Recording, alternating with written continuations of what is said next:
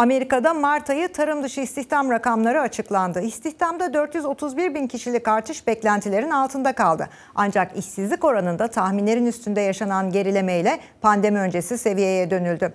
Başkan Joe Biden sabah saatlerinde Beyaz Saray'da bu verileri yorumladı. Ayrıntıları Begüm Dönmez Ersöz aktaracak. Begüm Biden fiyatların kontrol altına alınması için daha yapılacak çok şey olduğunu söyledi. Ne tür adımlar gelecek Biden yönetiminden?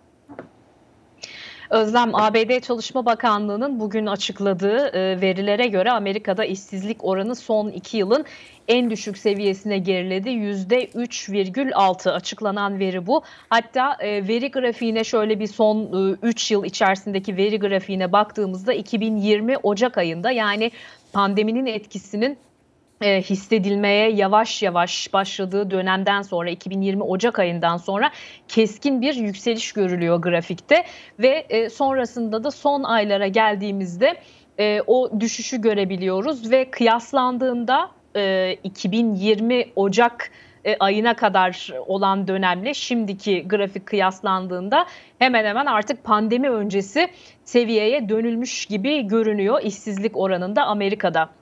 E, bu işsizlik oranındaki gerileme tabii bir yandan yüksek enflasyon, küresel tedarik zincirindeki sorunların devam etmesi, Ukrayna'daki savaş gibi bir takım olumsuzluklarla karşı karşıya hem Amerika ekonomisi hem de küresel ekonomi.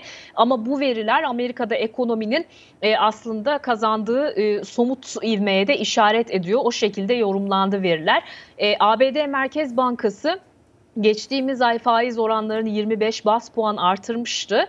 E, ve bu e, verilerle birlikte aslında ABD Merkez Bankası'nın Mayıs ayında faiz oranlarını 50 bas puan artırmasına zemin e, hazırlayacağı konuşuluyor. Çünkü biraz önce senin bahsettiğin Amerika'da e, o fiyat artışının kontrol altına alınması konusunda Fed'den e, ABD Merkez Bankası'na şimdiye kadar hep o yönde mesajlar gelmişti. Dolayısıyla bu verilerinde ABD Merkez Bankası tarafından yine faiz oran oranının artırılmasına zemin e, hazırladığı şeklinde yorumlandı veriler. Bir diğer önemli veri bugün açıklanan tarım dışı istihdam verisi. E, o da yine Mart ayında tarım dışı istihdamında 431 bin arttığını gösteriyor açıklanan veriler. Genel olarak da istihdam pandemi öncesi e, e, seviyesinin 1 milyon 600 bin altında. Eleman talebinde tabii son zamanlarda Amerika'da son aylarda artış var. Bunda hem Covid-19 vaka sayılarının hızlı bir şekilde azalması ve buna bağlı olarak da Amerika genelinde artık kısıtlamaların kaldırılmasının büyük rol oynadığını söylemek mümkün. İşe başlayanların sayısı artıyor. Ee, özellikle 418 bin kişi Mart ayında iş aramaya başladı ve son bir yıl içerisinde 3,8 milyon kişi iş gücüne yeniden katıldı.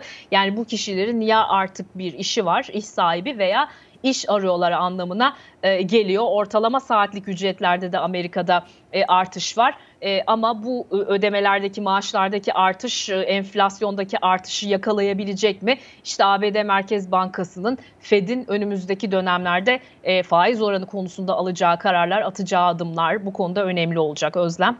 Washington gündeminden son notları Begüm Dönmez Ersöz aktardı. Teşekkürler Begüm.